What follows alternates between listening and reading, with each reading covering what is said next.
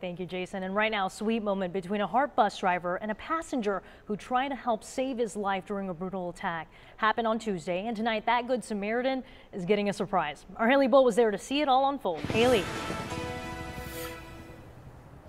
Isabel, that Good Samaritan, John Phelps, is hailed as a hero tonight. It says it so right on this sign outside his workplace and was echoed by dozens of drivers waiting to surprise him inside including the operator who he jumped in to help. Oh, man. Thank you, brother. Thank you. You my brother for life. You know that? When Schneider, Profit, and Phelps meet, they simply said, You're my brother for life. Tuesday, a passenger attacked Profit on his HART bus with mace and a box cutter. Phelps says he was in the back of the bus and rushed to put himself between the two. So now out of the hospital today, Profit surprised Phelps alongside dozens of other drivers showing their appreciation.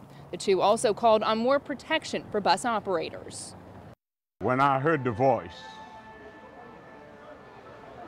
coming out from the back of the bus, in my mind I said, God, send an angel for me. He's been on my mind the whole time. I've had a lot of sleepless nights, making, you know, worrying if he's okay. And I've always seen the drivers, and I, every driver I see, I ask about him.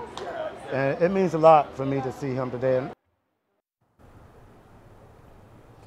Now, in addition to the thanks drivers are giving Phelps today, Skipper's, restaurant where they surprised him, is also giving him a signed Lightning jersey and treating Phelps to a Tampa Bay sporting game of his choice. Live in Tampa, Haley Bull, ABC Action News.